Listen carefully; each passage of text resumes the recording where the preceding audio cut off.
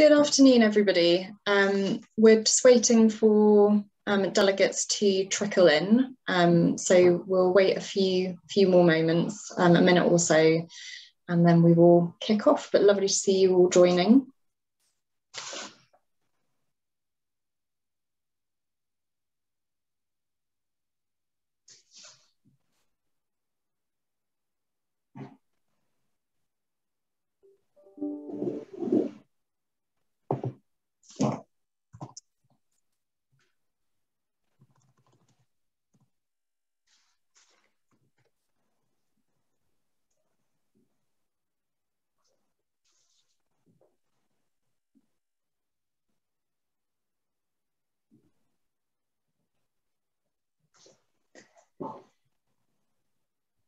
Fantastic. Um, we will we will kick off. So um, welcome to get again to everybody. Um, please do feel free to um, turn your cameras on um, so that we can uh, have have more of a normal interaction if your Wi-Fi allows.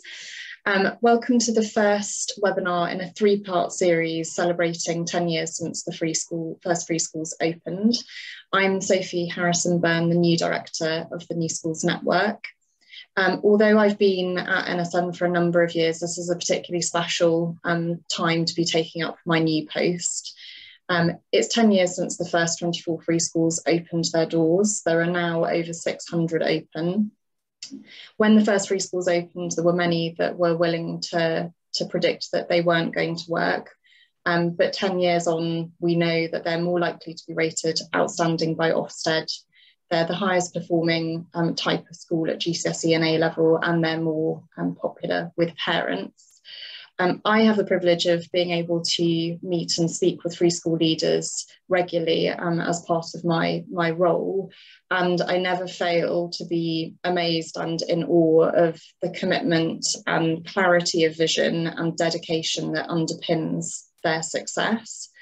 It's um, no mean feat opening um, a new school from scratch. Um, and it's, it's a pleasure to welcome our six free school leaders who have agreed um, to share their reflections and experiences of their own free school journeys over the last 10 years. Um, I know it's going to be a really interesting session, so thank you very much for giving up all of your time so early on um, in the school term where I know um, you know, there's there's a lot on and getting all of your people settled. Um, so we really, really appreciate it. Just a little bit of housekeeping. Um, the session is being recorded. I think you should have been notified, but just so you're aware. Um, the if I could ask everyone, and it looks like everybody is, but if, um, we could all remain on mute when we're not speaking, just to help with sound quality. There will be an opportunity to ask our six panelists questions at the end of the webinar, um, but please do begin to put your questions into the chat function um, as the session goes on, and um, we will try to get to as many of them as we can towards the end of the session. Um, our first speaker um, will need to duck out um, after her um, her talk, um, as there's an urgent meeting at school that calls her away. Um, so without further ado, it is a pleasure to introduce um, Katharine Birbalsingh, MBE, MBE, who is the headmistress of Michaela Community School, an outstanding free school in um, Wembley and Katharine is going to share her reflections with us and time allowing we'll, we'll, hopefully be able to take one or two questions before she dashes away so if anyone had been hoping to um, put a question to Katharine please do pop that into the chat function um, sooner rather than later. Katharine over to you.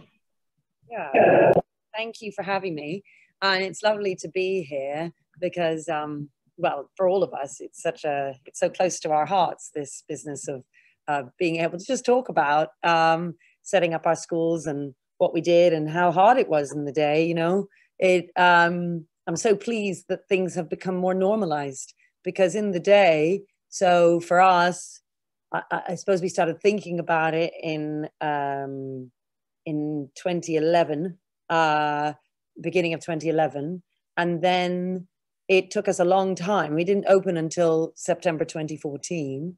Um, and that's because in those days it was really, really hard to uh, get a school off the ground. I mean, sometimes people did it much faster, obviously, we had a lot of opposition.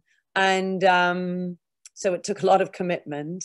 Um, whenever I meet people wanting to set up a school or trying to, I always say, well, you know, you just hang in there and keep going uh, because, you know, you can get a bit downhearted, I suppose, as you're going along. But we kept going. And um, when the first somebody suggested to me the idea of setting up a school, I thought it was totally ridiculous. I mean, uh, the idea of setting up a school just seemed absurd. You know, obviously, I I was a teacher. I'd worked in schools all my life, but um, you know, all the kind of red tape around setting up a school, I didn't want that, and I didn't really know anything about it.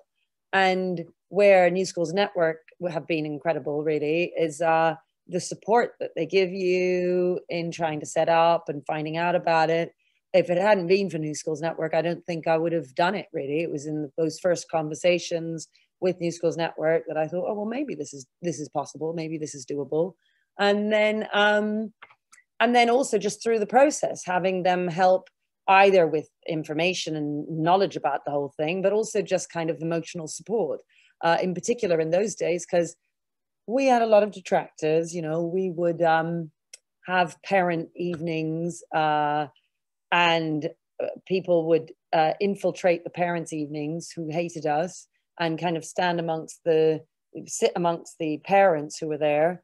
And then when we would try and talk to the parent group, they would stand up and shout obscenities and things to kind of drown us out so that the parents couldn't hear us. Uh, at one parent event, we had to hire a bouncer because we were so worried about the possible violence that might ensue. So, luckily, that isn't the case for most free school groups. And certainly now, that sort of thing doesn't really happen. And that's what I mean about it having become normalized and us um, being more in a well in a frame of mind where this this is just an, a route to opening up a school and um, so i'm really thrilled to have been part of some of those beginnings. Um, and and then yeah, it took us three and a half years. We moved from from place to place. We first wanted to try and open up in Lambeth, but that didn't work because Lambeth didn't really want us. And then we went to Wandsworth, and Wandsworth were happy to have us, but the building that we wanted fell through. And then we eventually ended up in Brent. Um, and we very much we were a group of teachers uh, in the main, but there were others as well uh, wanting to make a difference to the kinds of kids that we were all used to teaching, which were uh, disadvantaged inner city children. That was our kind of expertise and what I've always worked with all my life.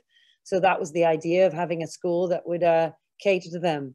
And so we then set up and we got this building, which, you know, isn't the best of buildings. There are all sorts of problems with it. We're right next to the trains and there are no fields and the car park is the, the playground for the kids. So there is no car park for the staff. But we have a building and we're very happy inside of it and we're very grateful to be here. And what the free school movement has allowed us is a, a, a chance to really own our school. You know, I think that's the big thing for me with free schools and what's so brilliant about them is that we it's ours. And um, you know, there's something about helping to paint the walls and putting the bins out and and uh, oh, you know, picking up the phone as I used to do uh, you know, morning, Michaela Community School, and and so on. yes, you'd like to speak to the head teacher. I'll just fetch her for you, putting the thing down and then coming back. I mean, that's the sort of thing that happens, and it's it's really kind of lovely. It's the way you imagine like a small business might happen, you know, and so that um, and that commitment that you have from the staff because they feel that they own it. You know, there's a staff meeting I need to go on to and I know that my staff are up there, and my deputies are there, and they're running it. They'll be running it now, and they'll be they, they they're just they're in charge. And what is no what I've noticed uh, happen over the time that we've been here is that it's become a sort of machine in the sense that you know I can step away for a little bit and it's fine. And um, and we're opening up now another school in Stevenage in 2024. It should have been 23, but COVID has delayed us. And you know, hopefully looking to open up others in in the future. So uh, it's really exciting, and you know, principal de- principal designate for the new school. Uh, she started here in our first year in 2014 and has then grown with the school and is now going to be the principal over there. So that is really exciting. It's been particularly exciting, not just for the children here, but all the various people who come to visit us. We get over 600 visitors a year coming to see us, and they're generally teachers from all over the country and all over the world, actually. Um, and they take ideas and they go back to their schools and they do things differently in their schools as a result. So it's really exciting not just to have impact on the children in our school, but also on um, children in other schools and and on staff in, in other places. So you know we've been rather, relatively contentious in some of the things we say and so on. Uh, and what's so great about the free school movement is that it en- encompasses everything. You've got schools that are more contentious like ours, and then there are some schools that aren't particularly contentious at all and are pretty much more normal, and that's great. You know, you've got everything. And um, it's it's it, for me it's the ownership it's the it's the sense of ownership and the ability to bring like-minded people together to be able to deliver whatever vision there is for that particular school uh, that's the thing that i find really exciting about it and um, i just find it's a real privilege to be part of all of this uh, and to you know and to be able to speak to all of you today because um, uh, and it's so exciting i mean 10 years where did 10 years go? I don't know, you know, like it's just crazy. But I suppose 10 years have passed and, um, and, and lots has been achieved in that time, you know. And when, when I hear 600 schools, I think, wow, it's just amazing when you think about it. It really is amazing that uh, people at the start of this who lots of people poo pooed the idea and thought, no way. And all of this has happened thanks to people's dedication and hard work and belief and us all doing it together, you know, and I can't stress that enough. The support from New Schools Network and the emotional support uh, empowered us to be able to keep going through difficult times. And now, you know, it's funny when I tell that story and I look back, people think, oh, well, isn't that great? But, you know, at the time, we didn't know we were going to open. We didn't know what was going to happen. And uh, I'm pleased this is the way it turned out. so, yeah, that, that's kind of all I have to say. Um, it's it, perhaps there are some questions. I mean, don't worry if there aren't any questions. Uh, don't feel pressure, but if there are any, I'm more than happy to answer some. Thank you, Katharine, um, and thank you for the kind words about um, NSN. Um, there is um, a question. So, um, you talked about how difficult it was in the early days. What keeps you going to open more, um, and what do you think the program should be like in over the next ten years? Uh, well, it's seeing, being part of this and seeing um, the, the, the great stuff that's come out of the free school movement, the impact that's been made, because we mustn't forget it's not just about each individual school opening. I mean, it is about that. It's also about those kids and so on. But it's also just, I think the free school movement has sparked debate about different ways of teaching, different ways of doing discipline, different ways of running a school, and so on. And it's allowed different flowers to bloom and do things in different ways. Uh, there was more of a monolith before, and the free school movement, I think, has broken that up somewhat. And so, doing another one, uh, I suppose I'm just really invigorated by the whole idea of a free school, the ownership idea, um, taking some of my staff from here and putting them over there um, and and being able to serve another community. Uh, that's really exciting. So yeah and it'll be a very different community because it won't be the same kind of inner london uh, community that we've got here. So and in terms of the next 10 years gosh i don't know. I mean uh, i hope very much that free schools go from strength to strength really. Um, i think uh, uh you know, the detractors sort of say, oh, you know, they're not, there's enough certainty with them. Uh, you're not guaranteed an excellent school. But the thing is, you're never guaranteed an excellent school in any situation. and I would argue that the ownership that people feel it, over a free school makes it more likely to succeed. Um, and as Sophie was just saying, you know, uh, the, the, stats and the data shows that um, they're doing really well. So uh, I just know anecdotally from word of mouth and so on, and schools that I see, uh, often free schools. You know, whenever I say to somebody, go and see this school, go and see that one that's doing things in this way, and this one's doing things radically different over here, it's always a free school. I mean, it's always a free school that's doing things radically differently in different places. So, and different from us, you know? So I think there's something in the idea that uh, when people are freed up to be able to own an idea and bring like-minded people with them that um, they're more likely to deliver something that's different and different in different ways. I don't mean like us. Um, and then that as part of the bigger uh, school system makes the entire school system better because it brings in different ideas and keeps everybody asking questions and debating and discussing which of course is necessary for any uh, you know organization for any uh, school system to, to keep on their toes and to get better and better and i think the free schools all of the free schools contribute to that to that kind of intellectual discussion Thank you, Katharine. And yeah, we look forward to, to you continuing that debate and um, really look forward to the new Michaela opening and um, wish it wish it every success. Um, we will we'll let you um, dash off to your... I'm sorry everybody to disappear. Good luck everyone else there that you're talking. I wish I could hear your talks, but it's being recorded, isn't it? Being recorded, yeah. So we'll get you the link. okay, um, fantastic. Thank you then. Take care, everyone. Bye. Thanks, Katharine. Um, our next speaker um, is Sir Iain Hall. Sir Iain is the founder of Great Schools Trust, a multi-academy trust consisting of King's Leadership um, Academies, um, and was the CEO of the trust until his retirement at the end of um, last term. He has over 50 years of experience um, in education and um, obviously a wealth of experience around free schools. So, Sir Iain. I think you're on mute. So I didn't interrupt Kathleen. Thank, you very much, and thank you for the kind invitation. I have actually hung up my spurs, but I'm available for bar mitzvahs, christenings, and anything else training that people want to offer me. Um, I, would like to start my story way before the free school movement because I think it's quite important. I was ahead for a very long time in the secondary sector and developed a silly reputation for being a bit of a specialist in turning schools around.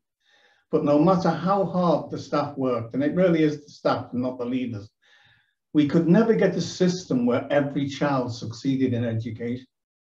We got close, but that magic Thursday in August, which I, that's why I've no hair left anymore, you would sort of stand at the school gate knowing that something like, even in a really good school, 30% of those children were not going to hit national norms. And in the last, last years of my headship, around about 99, 2000, I became very interested in what was going on that those children actually failed. The school I ran in Manchester, school I was lucky enough to lead in Manchester, eventually became Manchester's top performing school, state school. It wasn't Manchester's top performing school. The top performing school was the independent school, Manchester Grammar. And it was selective. But I got to know the head fairly well and I I went to have a look at it quite a lot. And the teaching quality wasn't any better than in my own school. The children's behavior wasn't any better, but there was something magic in there that those children were actually going further. And one of the sort of things I put uh, my finger on was the fact that a lot of it was to do with parental backing. And in the sort of schools I was working, there weren't the role models for young children to actually succeed. There wasn't the systems, there wasn't the ethos that I could go there.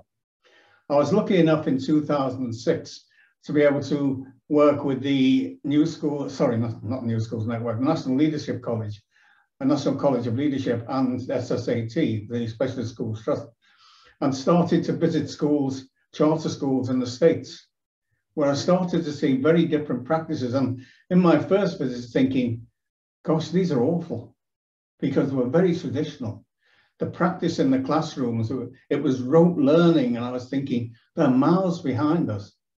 But I slowly came to the realization that where I thought I'd been very progressive, in becoming very progressive, I'd actually thrown a lot of the traditional ideas out the water. And I'd lost a lot. When the opportunity came up to open a possible free school, and I applied in 2011, um, I wanted to try something different. I wanted to, being a bit of a revolutionary, try a school that developed self-confidence in children much more than the curriculum, that developed character within them, that gave them the resilience and determination to succeed, that would give them the role models. And the thing that for me that was stopping it, and I'm not anti-union by any means, but there were so many restrictive practices in the normal state system some of our children needed longer hours to actually succeed, yet we were hidebound by the 1265. but we could get round it by having a different type of mechanism, different type of contracts. Some of our children needed a different access to food because a lot of the children in the of areas I was working in come to school hungry. And we could change the whole system by giving them food and free food at the mid-morning and still manage to survive financially. We could start to work actively in the community and help parents become role models for their own children. We could raise aspirations and get them to university. So with that sort of burning ambition, I managed to get around me some incredible people.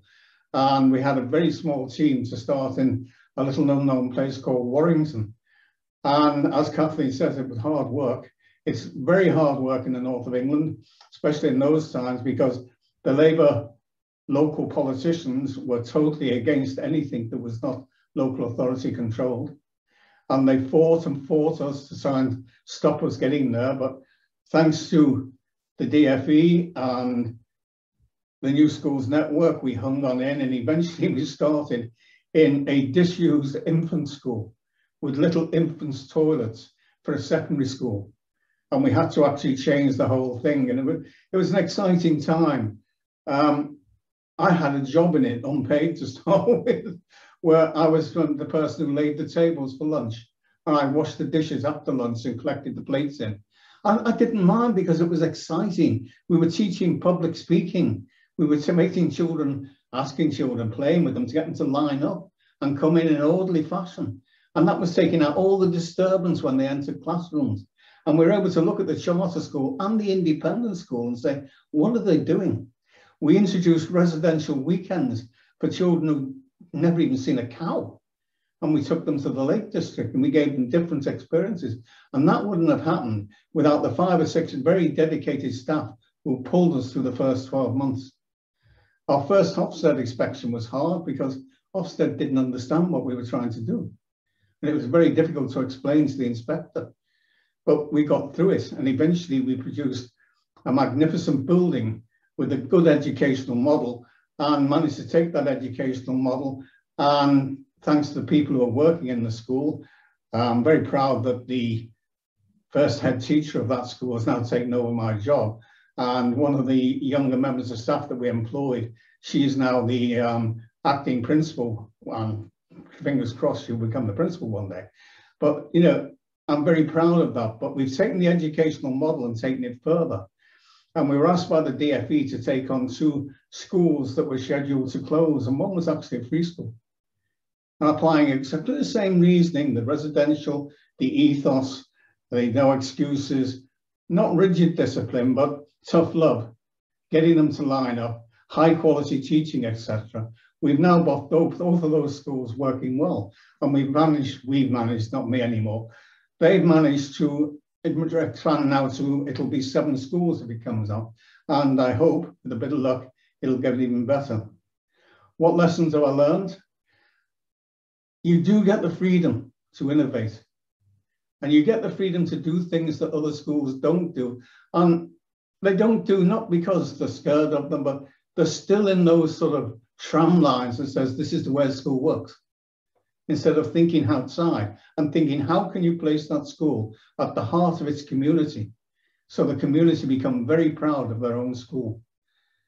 I've prattled on for a bit. I could go on for another hour, but I'll stop because people are better than me ready to speak. Thank you, Sophie. Thank you very much, um, Sir Iain. Um, no, no prattling at all. That was very, very interesting.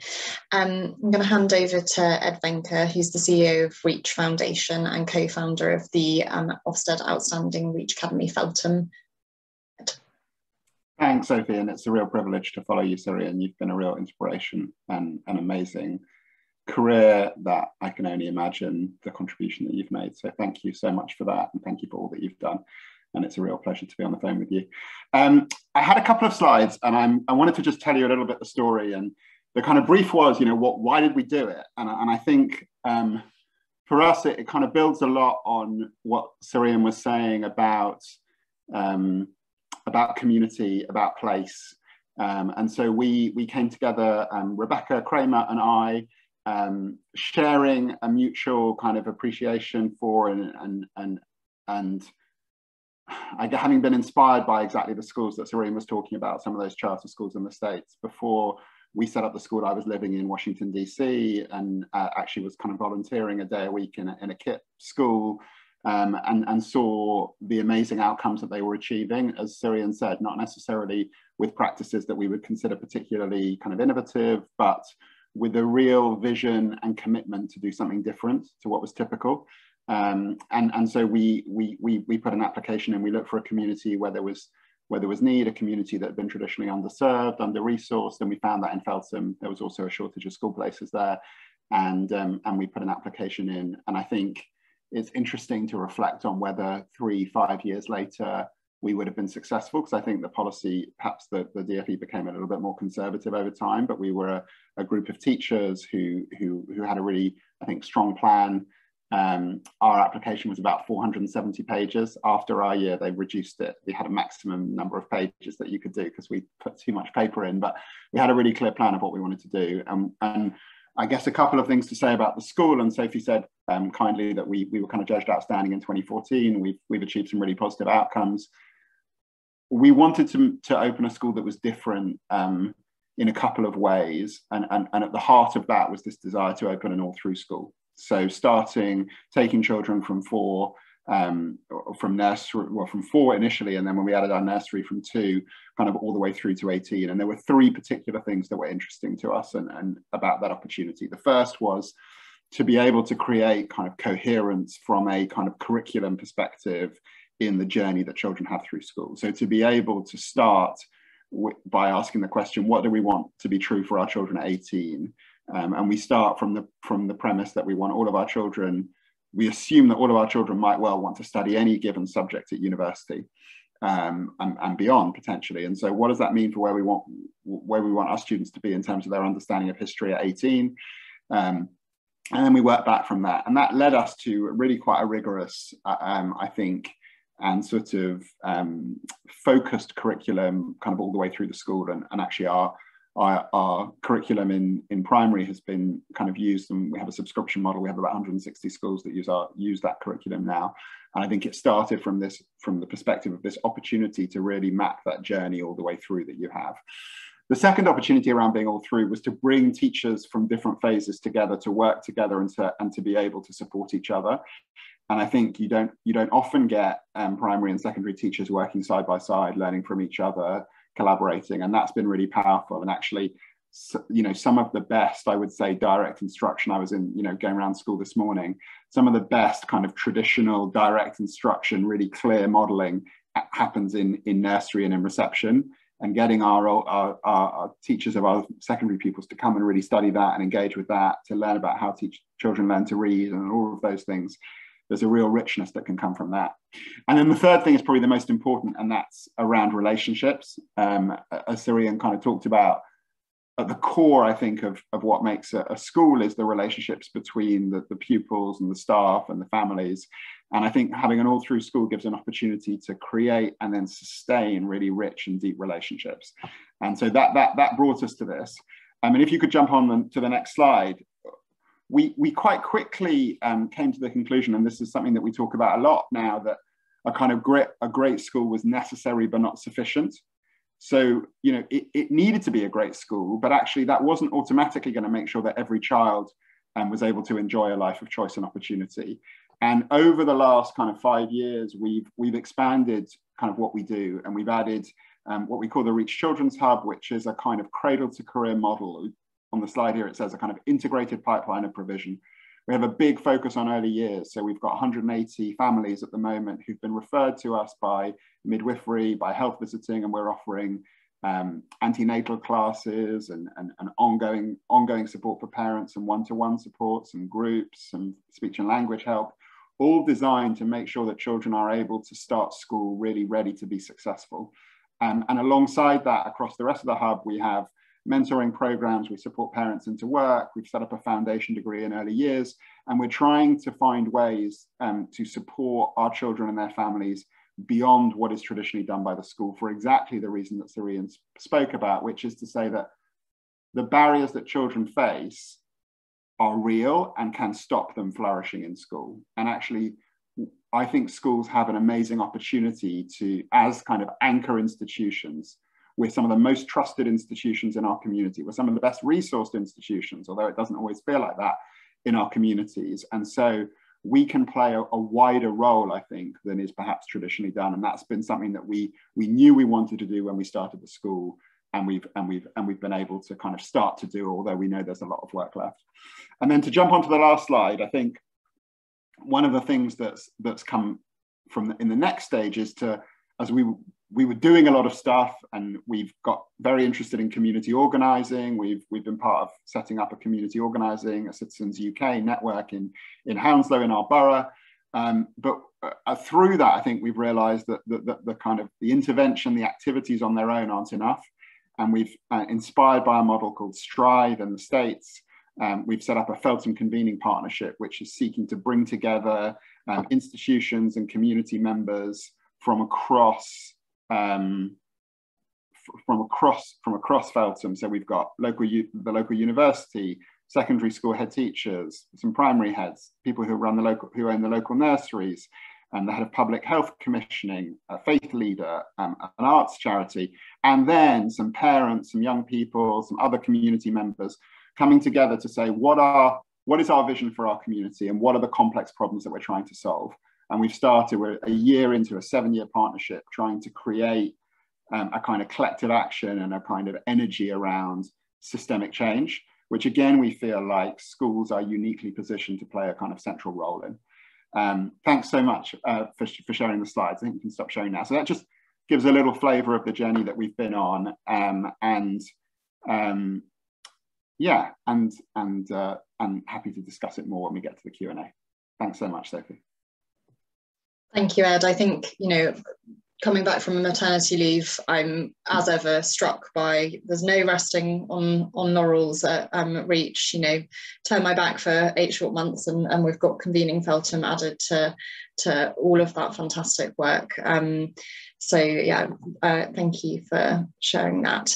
Um, we're now um, going to hear from Karen Hayes, who's the principal of Derby Pride Academy, an outstanding alternative provision free school um, that has links with um, the charitable arm of um, Derby County Football Club.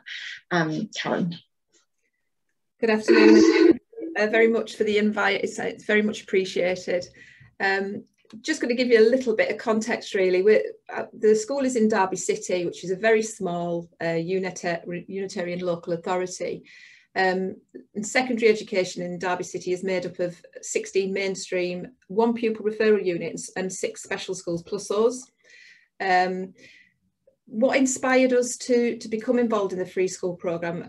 Originally, it was because um, the mainstream school that I worked with as a deputy in the pastoral responsibility there, we're looking um, for alternatives for some of the more challenging pupils there. We had an instance where there was a young person that um, he, he, brought a weapon into school and it, it was it was a it, we didn't want to permanently exclude him but we knew that he needed an alternative.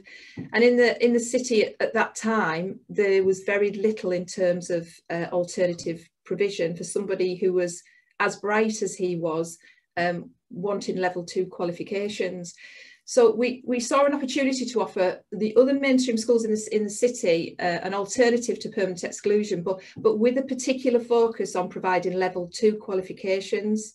Um, we designed a, a, curriculum which we could deliver in an alternative setting, but using more humanistic and, and person-centred approaches. And we linked up with a number of um, with other colleagues and providers across the city, including the football club, uh, to, to try to do that we, we started with a temporary building, um, as lots of free schools have, and that was challenging. It was on an industrial estate. It was a very old building, um, waiting for our building to be uh, to be to be made. We started with six pupils. We, have got a pan of 50, but we started with six. But very quickly after that first half term, when we moved into our um, new building, our intake started to increase, not just from pupils within the local authority, but actually from pupils outside of the local authority, because we're central and there was lots for the counties around us. All the way along, um, on average, our outcomes um, as an alternative provider have been consistently outstanding. And, and some of the, some of the, you know, the, the, the most outstanding features of that is that 89% um, of our pupils on average leave with at least five GCSEs, whereas if you look at the national average for our context of schools, it's 12.3. So we're looking at you know, six, seven times the national average. Our attendance is on average 15% higher. Um, and, and majority, 95% of our pupils move on to positive destinations.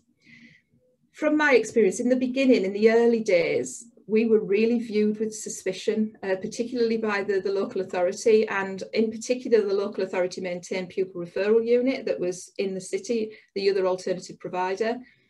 Um, we felt at the time, because we were one of the first AP free schools, was five of us, and I can see Marie's on the call, and she was one of the, the first five as well.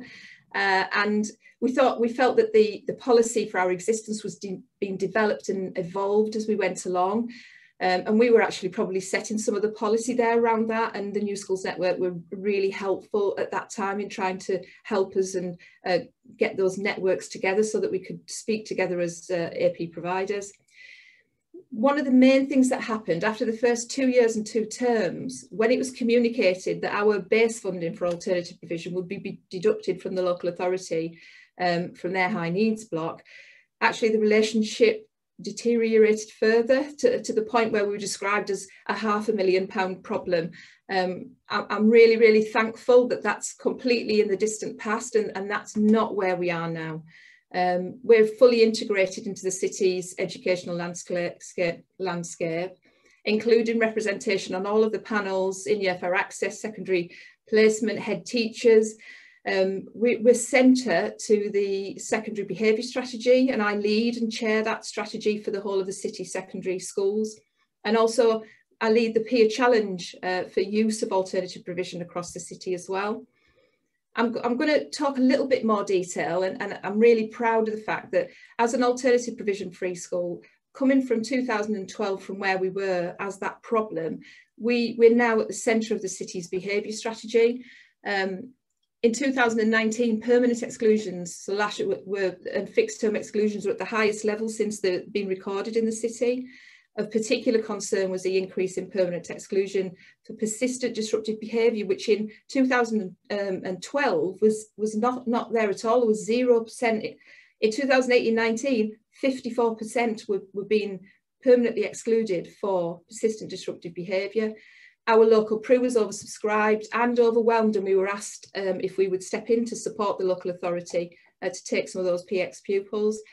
Uh, is at that point that the realization that something had to give, that there needed to be more preventative intervention for these pupils at risk of exclusion. Um, and, and that's where we realized the system was failing and the local authority asked us as the AP provider to, to help to formulate a process that would mean that more preventative work was being done um, before it got to the point where we've got exclusion. I think what I'm trying to say that is, is that as a free school, you know, we've become a central part of, of what, it, you know, of the educational landscape. And we've, we've worked collaboratively with the inclusion lead, um, with all of the heads in the city. We've managed to get them all to sign up to a mission statement. And that's no mean feat when you consider that lots of our secondary schools have got big multi-academy trusts sat behind them and you've also got a CEO sat behind them that's uh, looking at, at the bottom line as well as everything else that's going on and you've got to try and get past all of that. As, a, as a, an AP free school that takes students from all over the city, we've got a really um, insightful view of, of what each secondary school is doing in terms of their um, inclusion agenda and we can sit there as a, as a neutral and, and, supportive body that people can contact to say, well, what can we do with this child? What would you do in our situation? Um, we, we moved then through this uh, working and steering group um, to a, a, situation where instead of having permanently ex permanent exclusion places for each of the school, which, which is where it, it ended up, we had 40 places that were allocated by the local authority for schools to use. Invariably, they all filled up to a collegiate model where we are just actually looking at the needs of the children uh, holistically, regardless of what school they come from. Um, we've grown ourselves, Derby Pride, an intervention catalogue that looked at pre-early help and, and, intervention, and we've shared that across the city, and that's now been picked up by the Department for Education's Opportunity Areas Board, and it's been enhanced um, so that it's used not just for secondary now, but it's moving into the primary sector. Um, we negotiated with the local authority as a group of, of, of people um, to, uh, to look at the costs that were associated with permanent exclusion and negotiated some um, some funding to support us to move to that collegiate model. So so what what's been the outcome? What's been the the outcome of that? Well, it, in 2018-19 there was 63 exclusions, uh, permanent exclusions in the city, and was small. Last year there was four. So we know that the work that we're doing to try and reduce permanent exclusion and to use Derby Pride and the, the local PRU for preventative work it is really working. Um, we want to avoid that permanent exclusion. We're going to need to look this, the COVID will have had an impact on permanent exclusion reduction. So we're going to use this year to see a, a better indication of success. Uh, and, and that's what we'll do. You, may ask, what are the benefits for Derby Pride as a free school, um, you know, moving into that area of becoming something that is working collegiately across the whole city? Well, we, we've, we've built really strong beneficial links with our mainstream colleagues and this has helped because we invite them into quality assure our, um, our uh, subjects. So we have schools in the city who have got a particular expertise around languages, they've got a particular expertise around uh, history. We want a broad curriculum as APRE providers. So um, they come in and they will quality assure. And in some cases, particularly around the subjects that we can't offer because we don't have specialisms, they will help us with teaching staff to come in and deliver some of that for us or to quality assure it. It's also increased the confidence in our offer and has led to an excellent um, level of place commissioning ensuring our financial stability. The AP sector has gone through an absolute nightmare during COVID in terms of um, referrals and therefore the financial turbulence that goes along with that if you've not got a, a really good commissioning um, programme. And that's really helped us. It's also allowed us to move back to preventative AP and that where we started in the first place, the free school moving children back into mainstream after a period of uh, turnaround. I think the biggest advantage of all is um, we've benefited the whole system um, and the knowledge of inclusion that we have across the city has provided a means for a positive change, um, a, positive system change across the whole city. I think to close, I, I'm, I think what I'm saying is that it's my firm belief that an opportunity afforded to us in 2012 to open a free school in Derby um, has had a huge positive impact on the pupils we serve, but not just that, um, the whole school system here in Derby, and, and, I'm sure that some of the leaders within Derby who we're working with would would you know would agree with me in that in that case. Thank you. Thank you, Karen. And yeah, I mean the the wider impact of free schools, I think, is one of the you know one of the many many successes of the program, and I think is something that all of the speakers have touched on to date, and is definitely something that resonates with me. The the wider impact that free schools have had um, beyond their immediate communities um, and on the you know the whole sector um, and equally um, internationally as well. Um, so so thank you. Um, our final final speaker um, is Trystan Williams. He's the principal of Venturers Academy, which is a free school um, in Bristol that was rated outstanding. Um, sorry, a special free school in Bristol that was rated outstanding for um, people's personal development, behaviour, and welfare. Trystan. Hello, good evening. Um, Karen, thank you for that. And, you know, love the connotation of the continuum um, of provision. You know, Ed, great to see concepts of the of the all through um, system. You know, I, I believe in a continuum of the provision from year um, early years right the way through to key stage five, and also the continuum of provision between mainstream and and special. You know, and I suppose if we look back at the days when I thought that multidisciplinary teams were working together under the Every Child Matters agenda, that actually social services, health and education were actually combining forces. I think it's down to us now as educationists to lead, to lead those key areas. And I think, Karen, the work that you've done, the work that you've articulated has been wonderful. So hopefully I can touch on some of the multidisciplinary work that we've also um, embedded in, in, our, in our city. And to be honest with you, um, I feel a little bit intimidated um, talking after such fantastic people as well. But um, thank you for, for the welcome here today. So basically, five years ago, we were aware that there was an increasing number of children in the city of Bristol with, with education healthcare plans or statements as they were then, but with a primary diagnosis of autism whose, whose, whose needs were clearly not being met, that there was no specialist provision for um, these young people within the secondary phase at all. So a group of parents decided, using their voice, hearing about the free school movement, that they approached the Society of Merchant Venturers and the University of Bristol, who were sponsoring schools in the city, and said, I think you can help us develop a specialist all through school for children with, with autism. The um, school, named Venturers Academy, did then become the first school within Bristol as an all-through school for children with a primary diagnosis of autism. And this is where my real passion sits, where multidisciplinary practice was central to the mission of the school. You know, I am aware that with modern medicine now making a significant um, progress, that more and more children are surviving prematurity. You know, some recent research by um, EPICure shows that 90% of premature babies now survive with 63% of them having a disability, 60% of them having ADHD, 10% of those children um, having autism. And we're aware now that because modern medicine has moved on so significantly, the education system, which is probably 10 to 15 years behind, is catching up. And we're also aware that because of this statistic that premature children are one of the main reasons why we are now rewriting our SEND registers um, nationally. We're also aware through this research that there's currently 80,000 premature children in our um, primary schools in England and Wales. That's on average four in every every every class primary, but only six percent of teachers have been taught how to meet their needs. So one key area that Venturers Academy does um, does produce at the moment is a truly inclusive, multidisciplinary approach that doesn't just happen within the special school, but also happens across all our mainstream um, um, partners within our multi-academy trust, but also very similar to my colleague in Derby leading on the education side around um, supporting colleagues across the city. So we worked very hard with our community looking actually what our moral purpose, what is our mission.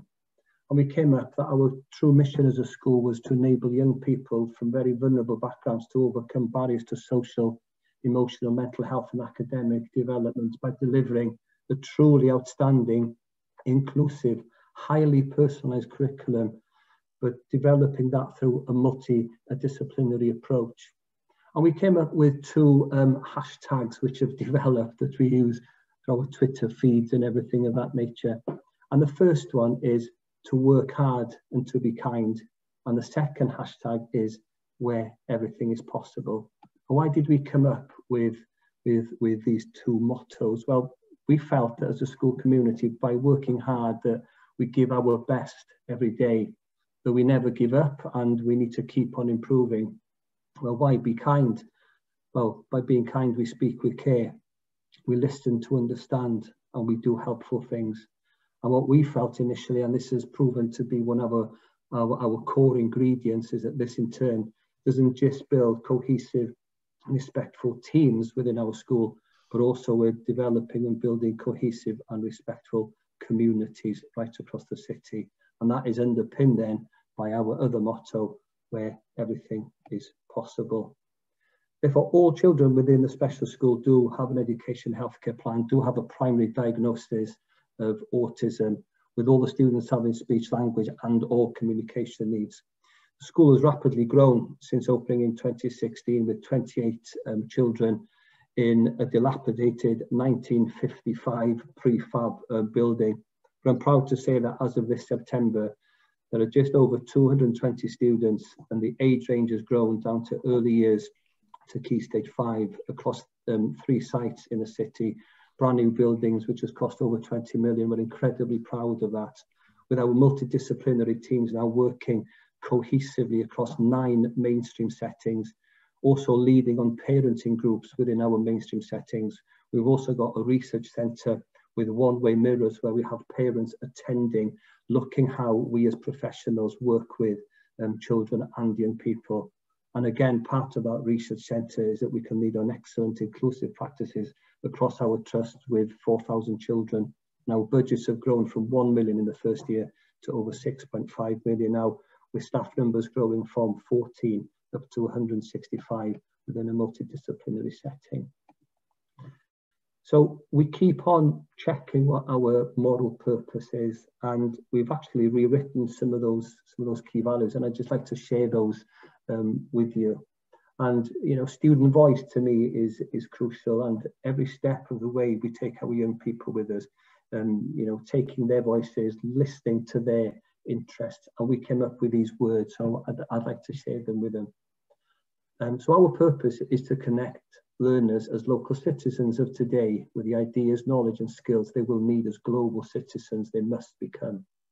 Our students engage with the familiar and be engaged with the unusual, be immersed in language and communicate in multiple languages, know how to practice, be resilient and be challenged, be proud of their local environment and think on a global scale, to win fairly, lose gracefully, accept help, give willingly and embrace a selflessness love difference, be different, and stand up for the rights of others because it is the right thing to do.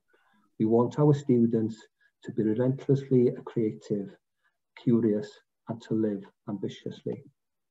And when our vision is achieved, we want our students to leave as, as successful learners with inspiring qualifications who are motivated to enhance their knowledge and skills and achieving beyond what they ever thought was possible. We want them to leave as a self-confident individuals who can make informed decisions and communicate them based on their values and their beliefs. To leave us as responsible citizens who respect others and take part responsibly in political, economic, social and cultural life. And to be effective contributors with a positive attitude who can lead or work in a team meeting the challenges of the 21st century. And if we get those things right, some of society's most vulnerable children may well become the politicians of the future, may well become the leaders of this country. And actually seeing the transformation of some of those children who started in that school in 2015, 2016 now, who have moved on to mainstream education, who are participating in um, doing their A levels beyond the special school. There can't be anything more satisfying than transforming lives of society's most vulnerable. Thank you, Sophie. Thank you, Trystan. Um, yeah, what a what a lovely um, mission and value statement. Thank you for sharing it with us.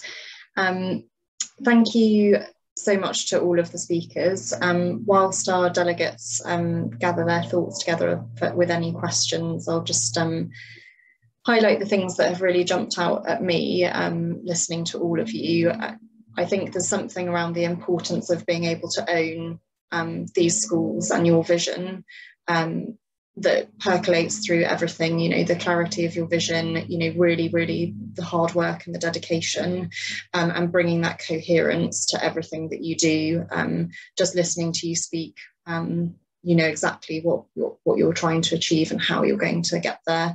And all of you share the um, drive to be constantly improving. Um, you know, it was no mean feat to set up these schools, but you know, as I said to Ed, there's there's no resting on laurels. You're always forward facing and forward looking and thinking, what can we be doing for our children to make this even better? And not just the the children that are lucky enough to attend your fantastic schools. You all are making a huge contribution um, to the wider system. And when I think that there are, you know, only 600 free schools um, the the amount that um, you're all adding to your local communities and the national debate about best practice in schools it's it's truly inspirational. And um, you know imagine if there were more um, the wider impact that, that we would have.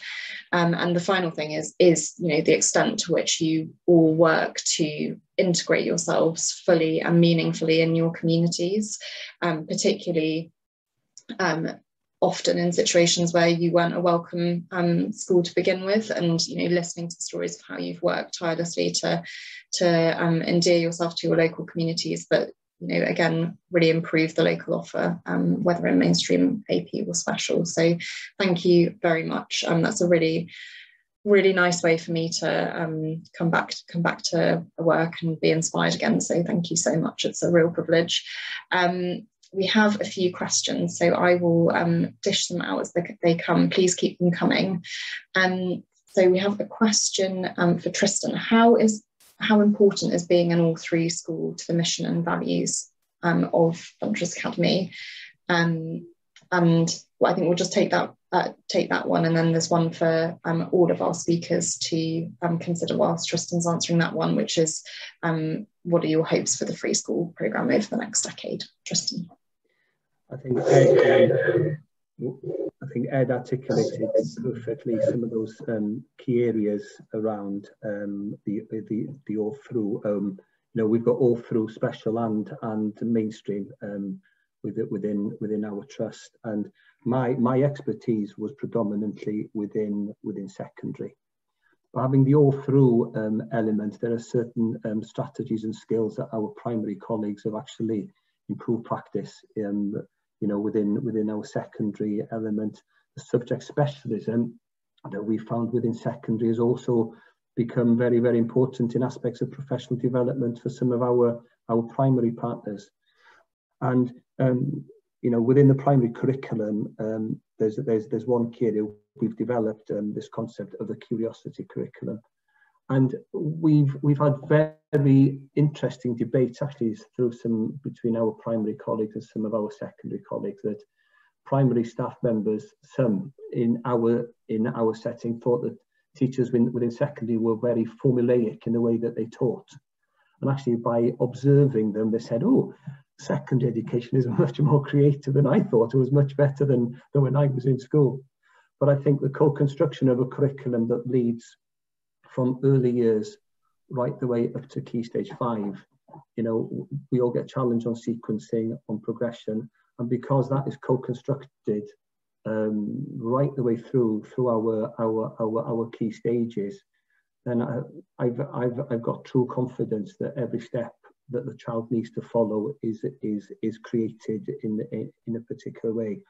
But also because of the aspect of the special school if a child doesn't quite get to a particular stage um, by a particular age then within that all school all through element it seems to be um, less complicated to revisit certain key areas especially within within certain you know the you know some of those subject areas. So um, what was I a huge advocate of an all through school before I opened one? No, I wasn't. Have I convinced that, that have I been convinced that it works? Yes, I do. Yes, I am. And um, would I advocate for it into the future? Yes, I absolutely would. Thank you. So, so just for the audience benefit, so did you, you join the project when that was a decision that had already been made? Yeah, I was actually chief executive of a chief executive of a trust working in, in Surrey. And I thought, oh, this is a fascinating project. I live much closer to Bristol. And uh, yes, I, I came back and um, the project was about six or seven months away from opening. So um, um, I did quickly rewrite some of the uh, paperwork to make it um, slightly more um, in line with some of the values that you've heard uh, today.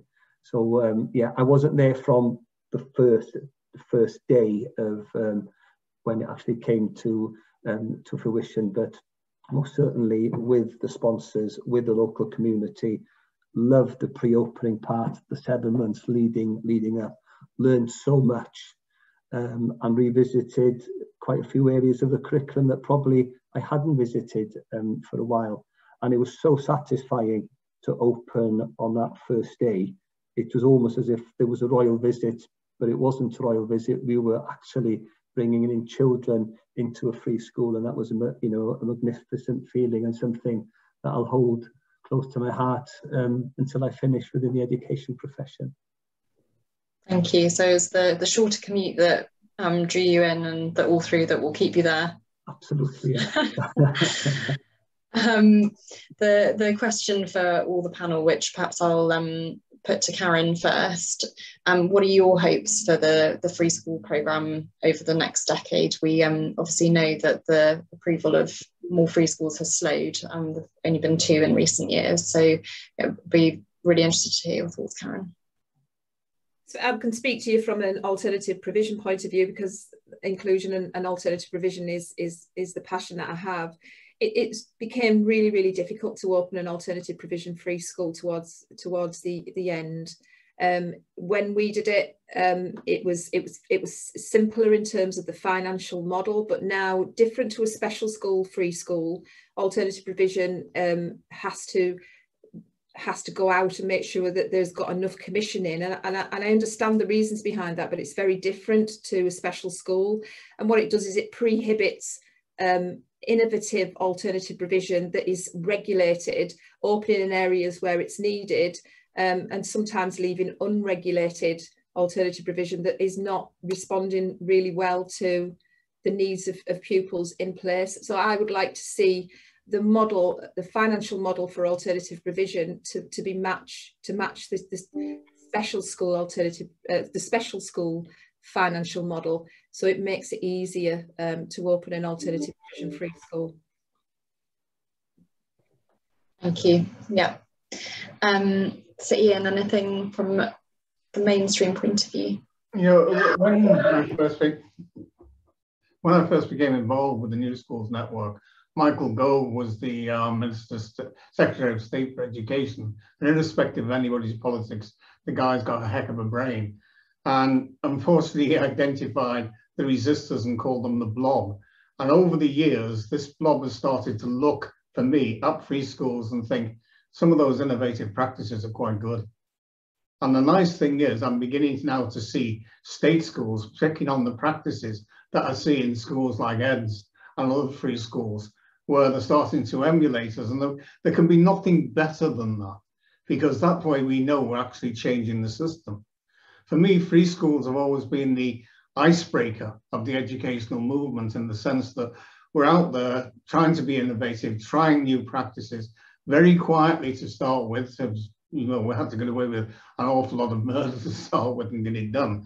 But we're in the next 10 years, I think eventually local authorities will suddenly realise that they haven't got the capacity to improve schools anymore, nor the funding, and it will come down to very innovative um, academy trusts that start to encompass schools like Karen's, sorry, Karen's and Trystan's into one unit.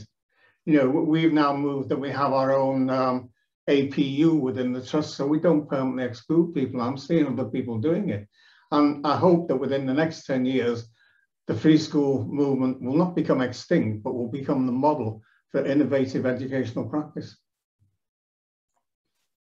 I think I think um, what what I would add to that, I, I, I, agree with all of that. I think it's it's interesting that um, if you look at the charter schools in the states, um, if you if you take all of the charter schools that have opened since 2003, half of those schools have since closed down and I think there is a there is much more dynamism in in in in that kind of in that kind of system. And obviously, the most effective schools have have flourished and been really successful, but because there are lower kind of capital costs around um, setting up schools and they're often in the buildings of, the, of, other schools and so on and there is less worry about the kind of the physical infrastructure i wonder whether there is an opportunity to look differently at um, the kind of turnaround model and, and look at particularly some of the communities where the improvements that we've seen in some parts of the country and in some schools haven't been,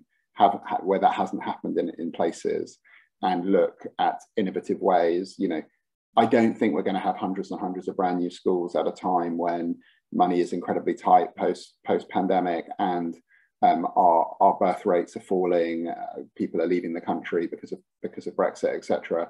So I think the next 10 years potentially is going to be different ways that we can enable people with ideas and energy to make a contribution that is different from, um, you know, doing that in, in the kind of in the, in the existing sector and in the existing school system.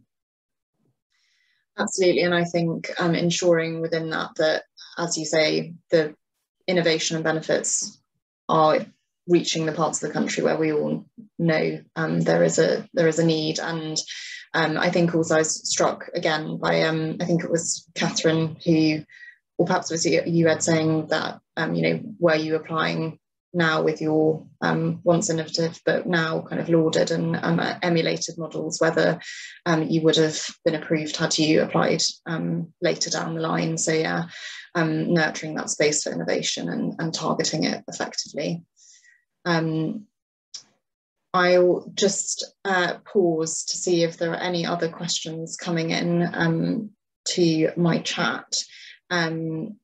But uh, whilst um, whilst I do, um, just a, a quick question for um, each of you. I think Katharine um, touched on it in her talk in terms of um, her advice for people wanting to do the same. But what would your what would each of your advice be to um, someone right at the beginning of the process? What would, what do you wish you had known or done?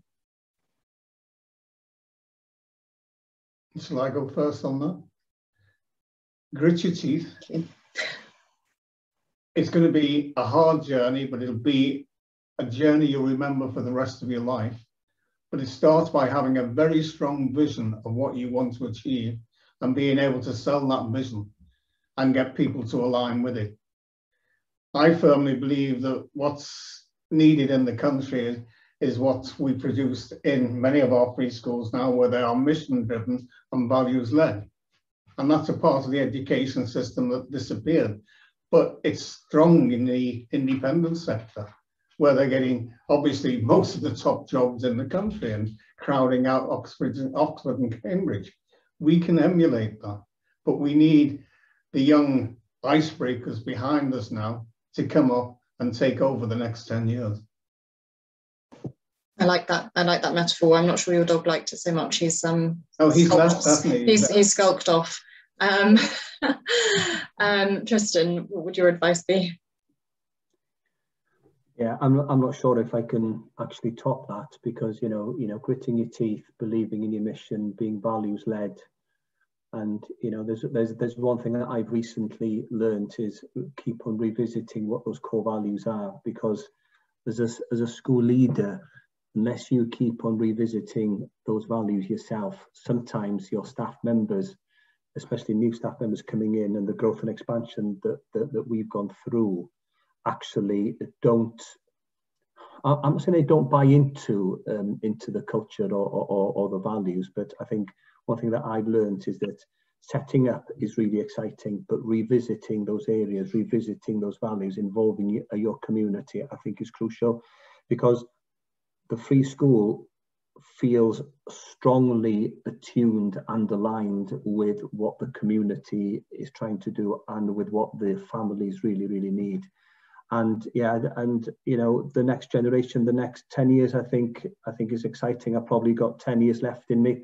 I'll probably be burnt out somewhere along, somewhere along the way. But you know, there is incredibly creative um, leaders out there and you know, I'm a big believer that special schools, alternative provision, mainstream schools, the way forward is more cohesive practice. Economies of scale, I think, is important. I fully agree with what Ed and Iain have also said that local authorities don't have economies of scale, possibly expertise these days to lead on transforming um, um, outcomes in, in, in schools.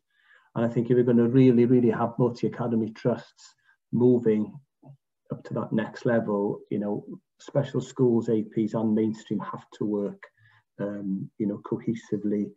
And, you know, I'm a big believer that every multi-academy trust should have an alternative provision special school and mainstream provision in it because that is one of the best ways of, sharing good practice, but also embedding multidisciplinary teams and actually having ownership um, over that process. I also think is important. So, yeah, that's that's the vision that I'd like to have. That within within ten years' time, um, multi-academy trusts, you know, right across the country, have got a combination of AP special and um, and and the you know mainstream with a clear clear focus on um, on, on you know getting over the barriers of disadvantage. You know that's that's that's one of my my key areas for for the next decade.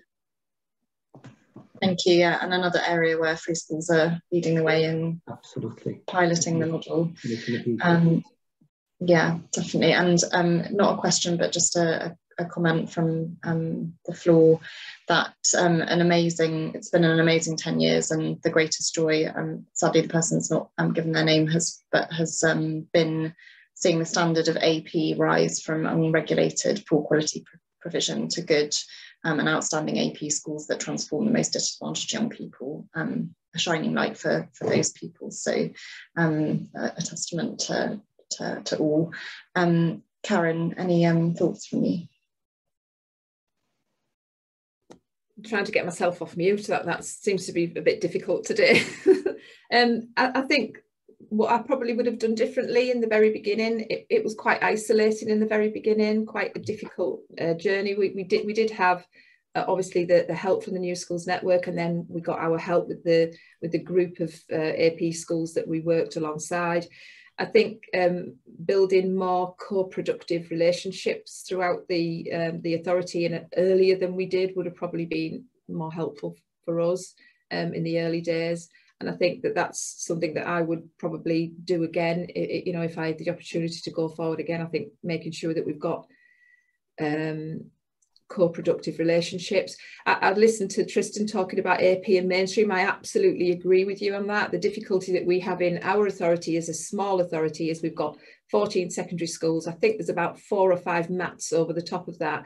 And what we didn't want to end up as was um, a, a sort of AP for that one particular mainstream school. I was really keen that we would serve the pupils for the whole of Derby City and not become uh, an AP for one particular multi-academy trust in that way. But I can see the benefits having gone through this 10 years um, in quite a lonely position as a as a principal with with without that support above being something that I think would be a good thing to do if I ever if I was to ever think about doing it again. Thank you. Thanks, Karen. Hopefully we'll be able to tempt you um, in the future if there's the opportunity. Um, Ed, any um, final thoughts from you? Yeah, I think my advice would be that it's all about the people you have around you. You know, it's a team, it's a team game, and having people who um, are fun to work with, have that sort of shared values, have that shared commitment. And I think as much as possible when you've got that group, going together to see schools and and being able to see it firsthand and agree what it is about those schools that you like that you want to emulate that you don't like and that you don't want to emulate and trying to build that kind of shared vision. But at the heart of it is is creating that kind of that group of people whether that's your governing body whether that's your founding group of teachers. And and and i think spending a huge proportion of the time that you're that you're thinking about this kind of networking and building that team is, is probably my main advice. Yeah, and I, I, think another commonality from all of you is, you know, having that shared vision and, and sharing it with your communities and your staff and your teams. Um, I don't think we've had any further questions. Um, and I know our panelists have had um, busy days in school and um, probably have many other things to, to go on to. So I think I will uh, wrap up there and just end by saying thank you so, so much to all of you. Um, as I said at the beginning, it's always um, inspirational and energizing to, to hear the stories um, and your reflections and your experiences. Um, and you know, thank you very much for your time. Um, it was really interesting. And um, yeah. And thank you to our delegates for coming. I don't think I've, I've missed any housekeeping, but if I if my if our fantastic events manager Graham um, needs to needs to tell me anything, please do. Um, but yes, um, the only the only other thing is just to um, remind you all that this is, as I said, the first in a three part webinar. Um, so if you've enjoyed today, um, we have two others upcoming. The first is next Wednesday on the 29th of September, again from four till five, and it's um, going to be a kind of slightly uh, broader conversation about reflections on reform with Sam Freedman and Rachel Wolf. And the final um, webinar is the, again the Wednesday after on the 6th of October, um, and that's focusing on where next. I know I've posed the question to our panel, but um, that third and final one will be really focusing on the future, and that is with um, Dame Rachel de Souza, um, Sir Hamid Patel, and Martin Oliver. Um, I'm uh, very excited about, about those sessions. I hope to see lots of you there if you're able.